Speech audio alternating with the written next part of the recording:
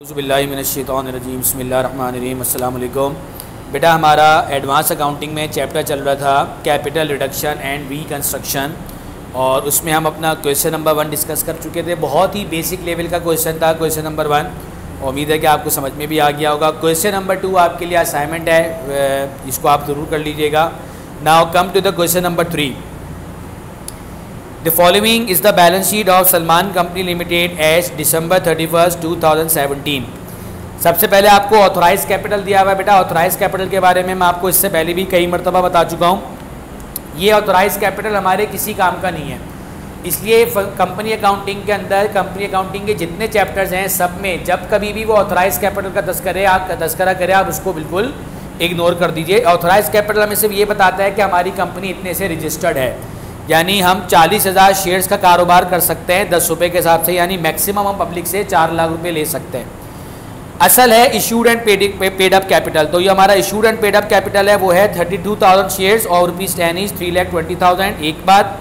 दूसरी बात, आज फ़र्स्ट टाइम उन्होंने आपको इक्विटी साइड पे डेप्रिसिएशन दिया हुआ है allowance for depreciation building allowance for depreciation machine और नेक्स्ट पेज पे अकाउंट पेबल है twenty five thousand total amount हो गया थ्री लैख सिक्सटी थाउज़ेंड इसके बाद एसिड साइड पे आपके कुछ इंटेंजिबल एसिड्स हैं, कुछ टेंजिबल एसिड्स हैं, कुछ करंट एसिड हैं और कुछ फिक्टिशियस एसिड हैं। याद रखिए कि एसिड साइड पे चार ऐसे एसिड्स होते हैं जो जो कि बेसिकली एसिड नहीं होते, वो हमारे लिए फिक्टिशियस एसिड होते हैं। उन चारों को आपने होते तो खैर वो एसिड ही हैं बट लेकिन हमारे इस रिकन्स्ट्रक्शन प्रोसेस के तहत वो फिक्टिशियस एसिड कहलाते हैं। यानी वो हमारे किसी काम के नहीं होते, वो चार परमानेंटली राइट ऑफ़ में मैं आपको लिखवा चुका हूँ। इन चार को सबसे पहले, पूरा सवाल शुरू करने से पहले इन चार को तलाश करके टिक कर लिया कीजिए। ये कभी चार के चार होंगे, कभी तीन होंगे, कभी दो होंगे, कभी एक होगा। यानी इनमें से चार में से दो तीन तो लाजमी होंगे। तो आप देख सकते हैं, वो आपको नज़र आ रहे हैं। एक है प्रॉफिट एंड लॉस अकाउंट ये बेसिकली रिटेन अर्निंग का ही दूसरा नाम है। लेकिन ये बात ध्यान में रखिए कि profit and loss account equity side पे भी हो सकता है। अगर ये इक्विटी साइड पर होगा तो फिर हम इसको राइट ऑफ़ नहीं करेंगे। ये सिर्फ़ एसिड साइड पर होगा तो उसको हम अपना लॉस मानेंगे। प्रीलिमिनरी एक्सपेंस है। बस सिर्फ़ ये दो आइटम है। अदरवाइज़ दो आइटम और होते हैं, एक गुडविल और एक शेयर डिस्काउंट वो दोनों ही हमारे पास इस सवाल में मौजूद नहीं है। ओके अब इसकी जो रिकंस्ट्रक्शन स्कीम है, वो देखिए। The company implements duly authorise the scheme for reduction of share capital the scheme provides the scheme provides that shareholders will receive one new ordinary shares of rupees eight paid up for every two ordinary shares held बहुत सादा और आसान लफ्जों में वो ये कह रहा है कि शेयर होल्डर को एक नया शेयर मिलेगा आठ रुपए वाला। For every two ordinary shares held हर दो शेयर्स के बदले। यानी जिनके पास दो शेयर्स होंगे, दस रुपए वाले। हमारी कंपनी का जो असल शेयर है, वो कितने का है? दस रुपए का। ये अपनी रिकंस्ट्रक्शन स्कीम में कह रहे हैं कि हम इनके इनके जो नंबर ऑफ़ शेयर्स हैं उसको तो हम चेंज नहीं कर रहे हैं, लेकिन हम इनको हम इनको एक नया शेयर देंगे, आठ रुपए वाला। हर दो शेयर्स के बदले जो इनके पास दस रुपये दस रुपये वाले पहले से मौजूद है। सर, हमें कैसे पता लगा कि हमारे पास दस रुपये वाला शेयर है? तो बेटा आप सवाल में जाके देख लीजिए, आपको इशूड एंड पेडअप कैपिटल में नज़र आ रहा है thirty two thousand ordinary share of rupees ten each तो वो आपसे दस दस रुपए वाले दो शेयर लेकर आपको वो एक शेयर देंगे आठ रुपए वाला। तो ये जो तरीकेकार है रिकंस्ट्रक्शन का, ये थोड़ा सा पिछले सवाल से डिफरेंट है। तो मैं सवाल को आगे पढ़ने के बजाय इसकी जो है वो कंपुटेशन शो करता हूँ। Computation amount of capital reduction and reconstruction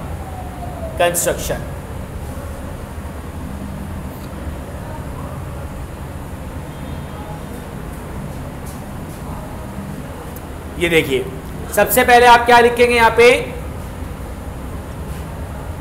Ordinary shares capital before reduction आपका शेयर्स कैपिटल रिडक्शन से पहले कितना था? तो बेटा उसके लिए तो सिंपल जो भी आपको नज़र आ रहा है, सवाल में वो एज इट इज़ लिख दीजिए, यानी thirty two thousand multiply by ten is equals to three lakh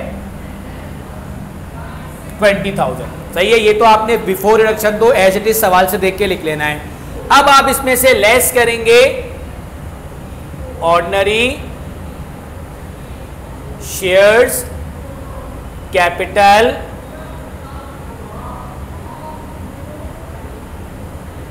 after reduction और आफ्टर रिडक्शन जो है ना, ये समझने की बात है।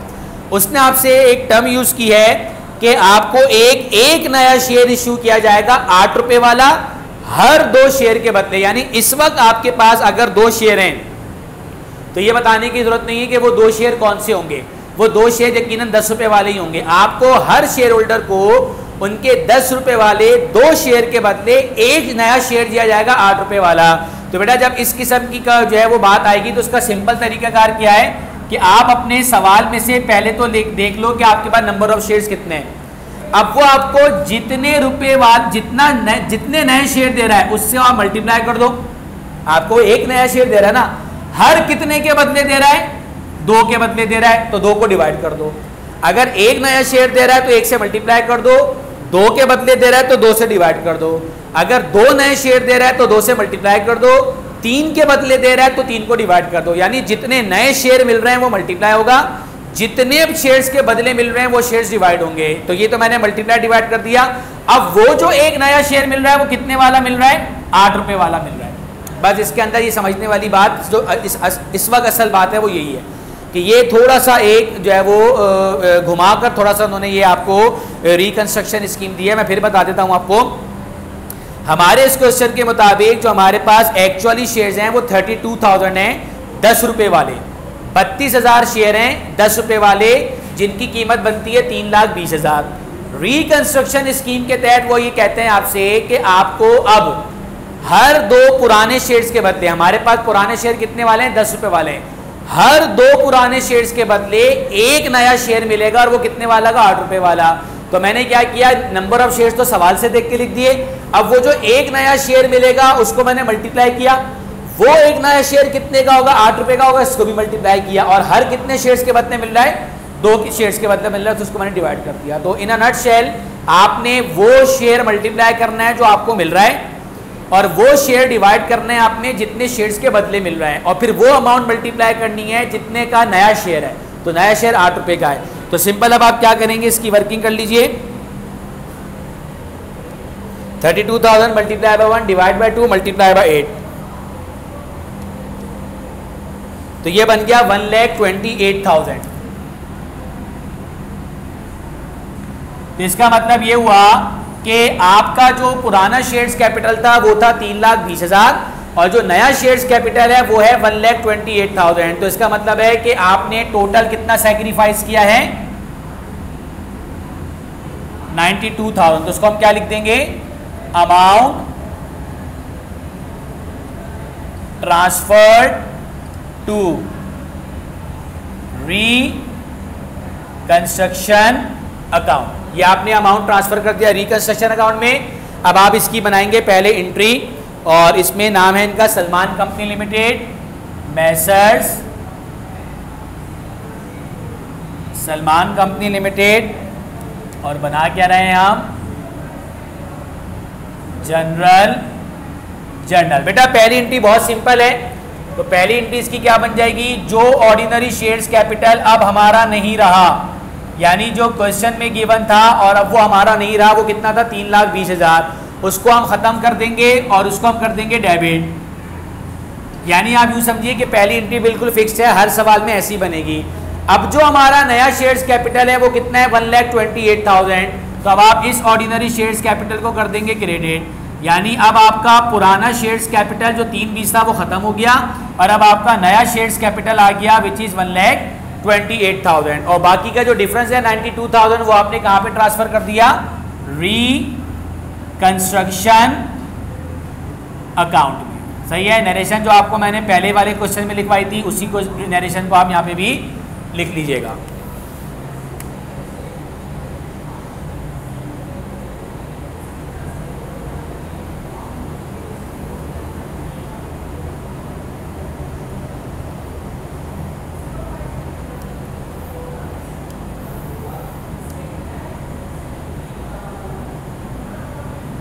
जी, ये 192 है नाइन्टी टू नहीं है खाली।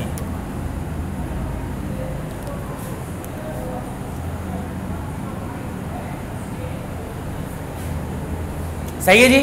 तो ये आपकी पहली एंट्री हो गई। अच्छा अब आपने अपने इस अमाउंट को यूटिलाइज करना है। अब बेटा, इस इस पहले स्टेप का मतलब क्या है? इस पहले स्टेप का मतलब यह है कि हमारा जो कैपिटल था शेयर होल्डर का, वो टोटल था तीन लाख बीस हज़ार।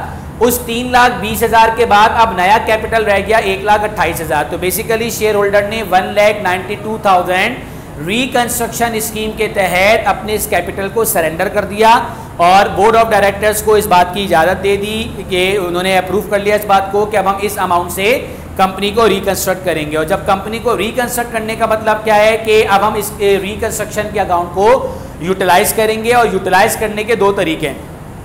एक तरीका क्या है कि जो परमानेंटली राइट ऑफ़ वो जो मैंने आपको लिखवाया वहाँ पे जाके देख लीजिए। एक है परमानेंटली राइट ऑफ़ और एक है टेम्पररी राइट ऑफ़ जो परमानेंटली राइट ऑफ़ है या फुली राइट ऑफ़ है, वो चार आइटम है। अगर वो आपको चारों के चारों आइटम गिवन है तो आप चारों को राइट ऑफ़ कर दीजिए। और अगर तीन है तो तीन ले लीजिए, दो है तो दो ले लीजिए, वो चारों आपको याद होने चाहिए। बाकी जो पार्शली राइट ऑफ़ है सॉरी मैंने टेम्पररी गलत वर्ड यूज़ कर लिया था। जो पार्शली राइट ऑफ़ है, उस पार्शली का मतलब यह है कि उनमें से कुछ कुछ अमाउंट रिड्यूस होगा।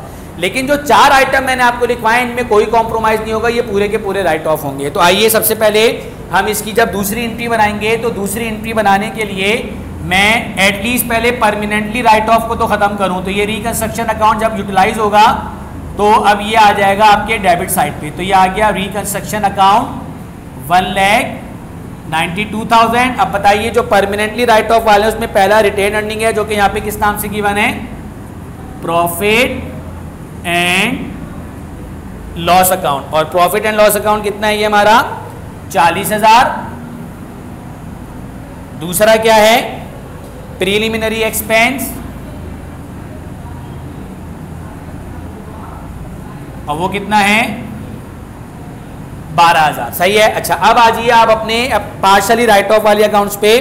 इसमें वो कहता है आपसे, पहले पॉइंट में तो उसने आपको बता दिया to write off entirely the debit balance of profit and loss and preliminary expense सही है? ये नंबरिंग सही कर लीजिएगा। ये नाइन टेन गलत लिखा है, ये वन टू थ्री फोर है। तो ये तो खैर बताने की ज़रूरत ही नहीं है। तो हमें मालूम है कि जब भी कभी हम राइट ऑफ़ की बात करते हैं तो पहले तो परमानेंटली राइट ऑफ़ को ख़त्म करते हैं। और वो मैंने पहले ही कर दी है। असल बात अब है to reduce the value of building and machinery rupees to rupees sixty thousand and rupees forty thousand respectively यानी वही कहना चाह रहा है कि आपने जो अपनी बिल्डिंग की वैल्यू है बिल्डिंग और मशीनरी की वैल्यू वो साठ हज़ार और चालीस हज़ार रुपए तक रिड्यूस कर दिए देखो टू के साथ वर्ड आ रहा है। यानी ये ये इट सेल्फ रिड्यूसिंग वैल्यू नहीं है। आपको ये रिड्यूसिंग वैल्यू निकालनी है। लेकिन इस सवाल में पिछले सवाल की निस्बत रिड्यूसिंग वैल्यू निकालने का तरीका अलग है। क्यों? क्योंकि आपके पास ऑलरेडी क्वेश्चन के अंदर डेप्रिसिएशन मौजूद है, जबकि पहले वाले सवाल में डेप्रिसिएशन नहीं था। तो अब इसको कैसे करेंगे? इसकी मैं वर्किंग यहाँ पे कर रहा हूँ। एक है आपके पास बिल्डिंग पहले वो आपसे कहता है बिल्डिंग और दूसरा कहता है मशीनरी ये देखिए, ये मैंने लिखा आपके सामने। बिल्डिंग और मशीनरी आप अपने क्वेश्चन में जाइए, जाके देखिए कि बिल्डिंग और मशीनरी की वैल्यू कितनी है। बिल्डिंग है एक लाख और मशीनरी है साठ हज़ार। तो ये लिखा मैंने बिल्डिंग की कॉस्ट एक लाख और मशीनरी की साठ हज़ार। अब जाके देखिए, आपके इक्विटी साइड पे डेप्रिसिएशन कितना है? बिल्डिंग पे दस और मशीनरी पे पाँच। ये लिखा आपने माइनस एक्यूमुलेटेड डेप्रिसिएशन बिल्डिंग पे दस और मशीनरी पे पाँच। इसका मतलब ये हुआ कि रिडक्शन से पहले ये नब्बे हज़ार था और ये पचपन हज़ार था। रिडक्शन से पहले जो हमारी बिल्डिंग है, वो नब्बे हज़ार है और जो मशीनरी है, वो पचपन हज़ार है। यानी मैं कह सकता हूँ कि रिड्यूसिंग वैल्यू से पहले पहले जो बुक वैल्यू है, वो ये है। अगर बेटा हम ये माइनस ना करते तो हम, हमसे क्या गलती हो जाती कि हम इसको माइनस किए बगैर हम इसको डेप्रिसिएशन को माइनस किए बगैर जो नई वैल्यू दी हुई है, वो माइनस कर देते हैं। तो बेटा याद रखिए, जब आपको क्वेश्चन के अंदर डेप्रिसिएशन गिवन ना हो तो फिर तो आप डायरेक्ट माइनस कर दीजिए। लेकिन अगर आपको क्वेश्चन में डेप्रिसिएशन गिवन हो तो आप पहले तो पुराना कॉस्ट में से पहले पुराना डेप्रिसिएशन माइनस करो, ताकि पता लगे कि ये असल में कितना है। तो ये असल में एक लाख और साठ हज़ार नहीं है, ये असल में नब्बे हज़ार और पचपन हज़ार है। अब वो ये कह रहा है कि ये जो मशीनरी और बिल्डिंग और मशीनरी है, ये साठ हज़ार और चालीस हज़ार रह गई। तो बेटा इसने ये दोनों वैल्यू टू के साथ बताई हैं। अगर ये बाय के साथ बताता ना तो बेटा ये सब वर्किंग में नहीं करता, क्योंकि बाय का मतलब ये होता है कि वो डायरेक्ट आपको कह रहा है कि इतनी वैल्यू रिड्यूस हो गई। बट अगर वो यही टू के साथ कहेगा तो इसका मतलब क्या है कि आपको ये रिड्यूसिंग वैल्यू खुद निकालनी है। फ़र्क इतना है कि अगर क्वेश्चन में डेप्रिसिएशन ना हो तो फिर तो आप डायरेक्ट ओल्ड कॉस्ट में से ये माइनस कर देंगे, जो निकलेगी वो रिड्यूसिंग वैल्यू होगी। लेकिन अगर सवाल में डेप्रिसिएशन हो तो पहले आपने कॉस्ट में से डेप्रिसिएशन माइनस करके इसकी असल में बुक वैल्यू निकालनी कितनी है। अब हम क्या करेंगे कि वो कह रहा है कि ये नब्बे हज़ार थी, लेकिन अब कितनी रह गई? साठ हज़ार। तो इसका मतलब क्या हुआ कि अब मैं इसमें से साठ हज़ार माइनस करूँगा। तो पता ये लगा कि हमारी जो बिल्डिंग रिड्यूस हुई है, वो कितनी हुई है? तीस हज़ार। और अगर मैं ये गलती करता कि मैं इसको माइनस किए बगैर डायरेक्ट एक लाख में से साठ हज़ार माइनस कर देता तो गलत हो जाता और यहाँ पे कितनी वैल्यू आ जाती? चालीस हज़ार।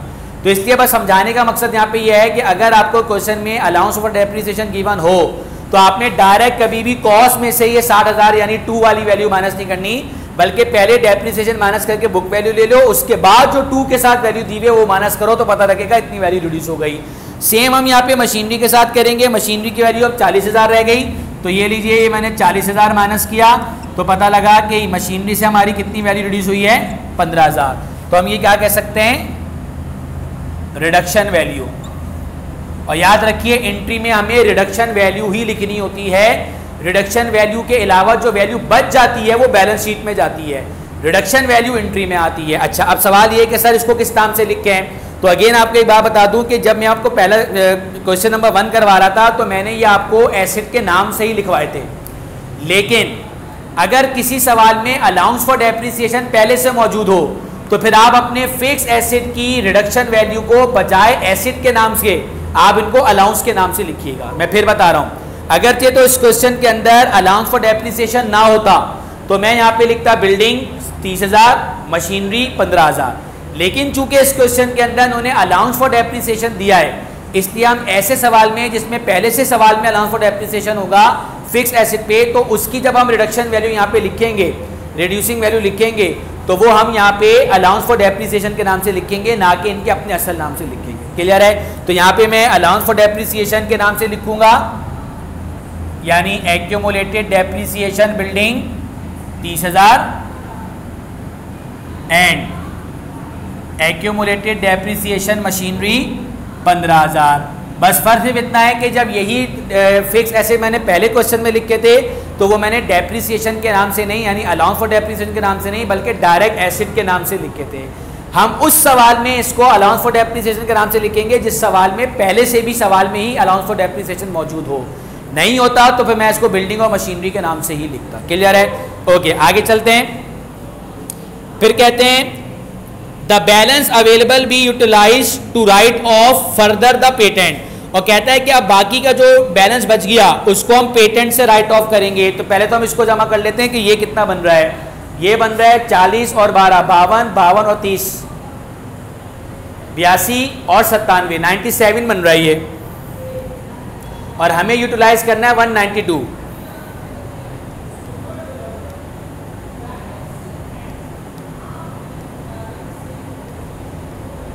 सही है? इसमें से मैं 192 माइनस कर देता हूँ। तो इसका मतलब है 95,000 का अभी भी बैलेंस बाकी है। उसके बारे में वो कह रहा है कि आप उसको पेटेंट से राइट ऑफ़ कर दो। तो ये लीजिए ये मैंने लिख दिया। पेटेंट और ये कितना बन जाएगा? 95,000 अच्छा अब इसके ये ये हो गया हमारा दूसरी एंट्री खत्म। अब इसके बाद जो इसने आखिरी पॉइंट दिया ना वो यूजलेस है। क्यों? क्योंकि आखिरी पॉइंट में इसने आपको जो है वो ऑथराइज कैपिटल की बात की है तो बेटा मैंने पहले कहा था कि ऑथराइज कैपिटल हमारे लिए इरेलीवेंट है। ऑथराइज कैपिटल को छोड़ दीजिए। ऑथराइज कैपिटल हमारे किसी काम का नहीं है तो ऑथराइज कैपिटल को हम कंसिडर नहीं कर रहा है। इसको हमने इग्नोर कर दिया। अच्छा अब हम बनाएँगे इसकी बैलेंस शीट तो बेटा, ये आपकी वर्किंग है। ये पहली वर्किंग पहली एंट्री और दूसरी एंट्री आप इसी रिकंस्ट्रक्शन को डेबिट करके फिर यूटिलाइजेशन करते हैं। और यूटिलाइजेशन के बाद पहले आप परमानेंटली राइट ऑफ़ करते हैं और उसके बाद पार्शली राइट ऑफ़ करते हैं। बट ये जहन में रखिए कि जब आप ये राइट ऑफ़ कर लेंगे तो आपका ये डेबिट और ये क्रेडिट दोनों बराबर होने चाहिए। क्लियर हो गई बात? अब आ जाइए आप इसकी बैलेंस शीट पे तो बैलेंस शीट के लिए चूँकि मुझे इस वाले सोल्यूशन की ज़रूरत है तो मैं इसको मिटा देता हूँ और अब मैं आपको यहाँ पे इसकी बैलेंस शीट बनवाता हूँ।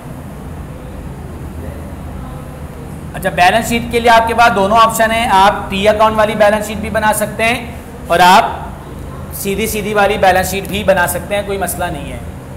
तो हम यहाँ पे सीधी सीधी वाली बैलेंस शीट ही बना लेते हैं। यानी क्लासिफाइड बैलेंस शीट सॉरी इसको हम लिखेंगे revise balance sheet in classified form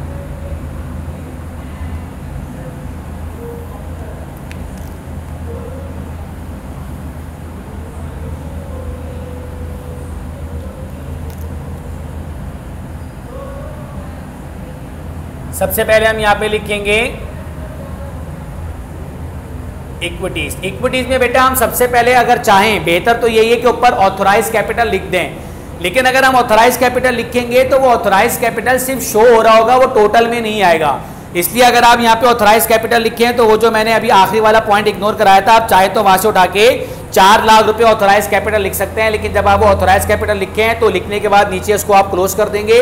जो कि आपके टोटल में नहीं आना चाहिए। सही है, मैं यहाँ पे ऑथोराइज कैपिटल नहीं लिख रहा हूँ, मैं direct issued and paid paid up capital लिख रहा हूँ, यानी शेयर होल्डर इक्विटी अब देखिए बेटा शेयर होल्डर इक्विटी में हमारे पास, हमने क्वेश्चन के अंदर हमारे पास शेयर्स कैपिटल था, लेकिन वो जो क्वेश्चन वाला शेयर्स कैपिटल था, उसको हम ऑलरेडी खत्म कर चुके हैं, वो हमारे किसी काम का नहीं है। तो हमारे पास सिर्फ़ क्या बचा?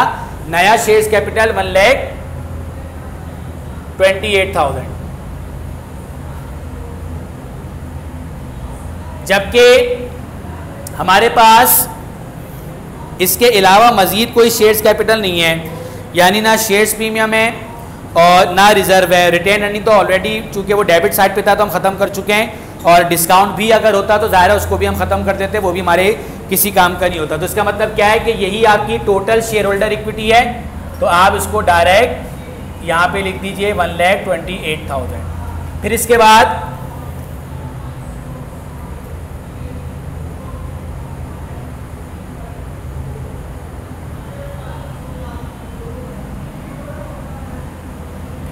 फिर इसके बाद आ जाइए आप लाइबिलिटी पे।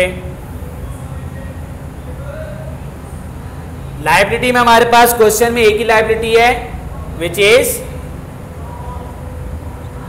अकाउंट पेबल और चूँकि अकाउंट पेबल का हमने कोई रिकंस्ट्रक्शन में काम नहीं किया तो ये अकाउंट पेबल भी डायरेक्ट ऐसी आ जाएगा ट्वेंटी फाइव थाउज़ेंड अब आप इन दोनों को जमा कर लेंगे तो ये बन जाएगी total shareholder equity one twenty eight plus twenty five तो ये कितना बन जाएगा? One lakh fifty three thousand. इसके बाद अगली हेडिंग डालेंगे हम एसेट्स और एसेट्स में हम पहले हेडिंग डालेंगे फिक्स्ड एसेट्स अब देखिए बेटा फिक्स एसेट में हमारे पास जो सबसे पहला फिक्स एसेट है, वो किस नाम से है? बिल्डिंग टेंजिबल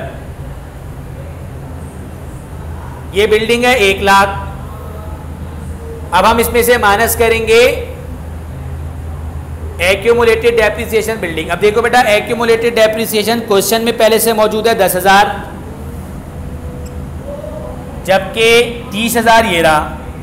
तो कुल मिला के कितना माइनस करेंगे हम? चालीस हज़ार। और अब इसकी वैल्यू कितनी हो गई? साठ हज़ार। अब आपको समझ में आया कि मैंने यहाँ पे इसको डेप्रिसिएशन के नाम से क्यों लिखा है? इसलिए ताकि दस हज़ार का डेप्रीसिएशन पहले से है, तीस हज़ार का हम यहाँ से एंट्री से उठा लेंगे तो ये चालीस हज़ार का डेप्रीसिएशन बन जाएगा, जिसको हम इसकी कॉस्ट में से माइनस करेंगे तो हमारे पास नेट वैल्यू निकल के आ जाएगी। फिर उसके बाद मशीन है।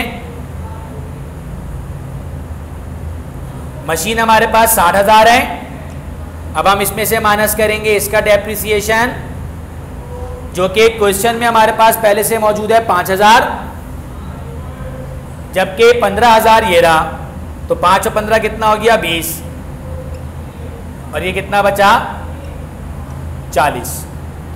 फिर इसके बाद एक इंटेंजिबल एसिड है हमारे पास पेटेंट ये लिखा मैंने यहाँ पे पेटेंट अब ये पेटेंट जो है वो एक बीस क्वेश्चन में है, जबकि नाइन्टी फाइव थाउज़ेंड हम यहाँ पे ऑलरेडी रिड्यूस कर चुके हैं। तो कितना बचा ये?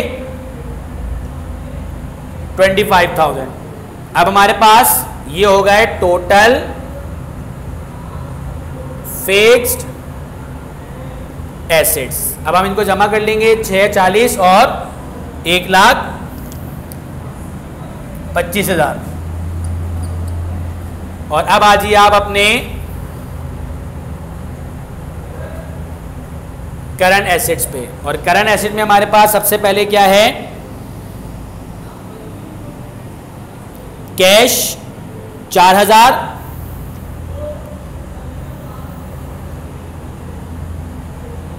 चूँकि यहाँ पे कोई फ़र्क नहीं पड़ा कैश पे इसलिए हमने डायरेक्ट लिख दिया। फिर इसके बाद मर्चेंडाइज है सोलह हज़ार। मर्चेंडाइज भी हमने अपने रिकंस्ट्रक्शन के प्लान में रिड्यूस नहीं की, इसलिए वो भी यहाँ पे डायरेक्ट आ गई। अगर रिड्यूस हुई भी होती तो क्रेडिट में होती। तो मैं इसमें से माइनस करके जो बचता वो लिखता। बहुत सिंपल बात है एंट्री में जो रिड्यूस होता है वो लिखते हैं बैलेंस शीट में जो बच जाता है वो लिखते हैं। बस इससे अलावा तीसरी कोई बात नहीं है। और इसके बाद है अकाउंट रिसीवेबल आठ हज़ार।